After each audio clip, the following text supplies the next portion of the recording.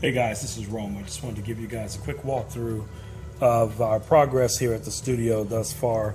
As I told you before, and many of you that are following us on Facebook and Twitter, uh, Model Mayhem, things like that, as you know, we've been working on getting the two areas set up and separated.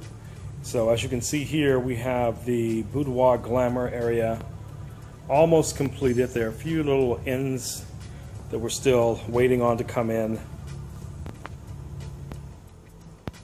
The lighting can switch from room to room, so it doesn't really matter which lights are in here at the particular moment.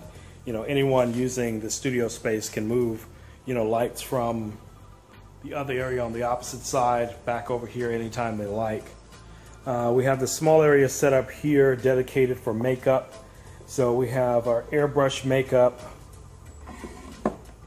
we have a ton of different hues, skin tone, colors.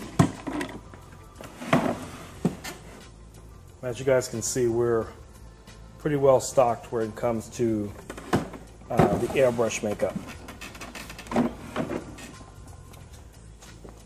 So what we have done so far in the opposite room, this is more of a commercial print room so we have a number of lights still here on the floor. We have the desk area set up. I should be bringing the iMac back over here to the studio pretty soon.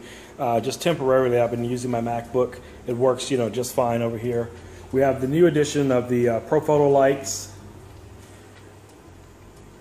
And pretty much that's it for what we've done inside of the space. So it really just depends on, you know, what one would use the space for.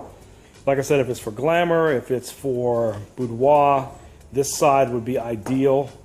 You know, even this wooden door here lends to a really nice backdrop, you know, when shooting. I found this paneling uh, here recently that kind of gives it a wood look.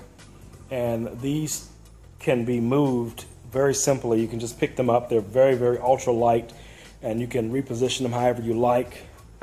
So you could expand the area that you're shooting in if you want more of that wood look on the floor, that wood grain look, something like that.